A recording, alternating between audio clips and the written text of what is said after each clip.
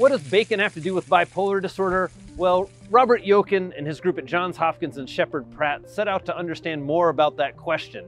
They've published a, a two-part study. The first part is a human correlational study, and the second part looks at some basic bench data using animal models to understand how nitrated meat products can affect mental health and affect bipolar disorder. In the first part of the study, the small human correlational study looking at individuals who'd been admitted to Sheppard Pratt. There's about 1,100 patients in their sample. What they found was a 3.5 increased risk of having mania for high consumers of nitrated or cured meat products like bacon and salami. In the correlational study, the researchers also specifically examined meat sticks. These are types of processed meats and beef jerkies that are commonly consumed in America. And they found a five times increased risk of having mania if you were a regular consumer of meat sticks.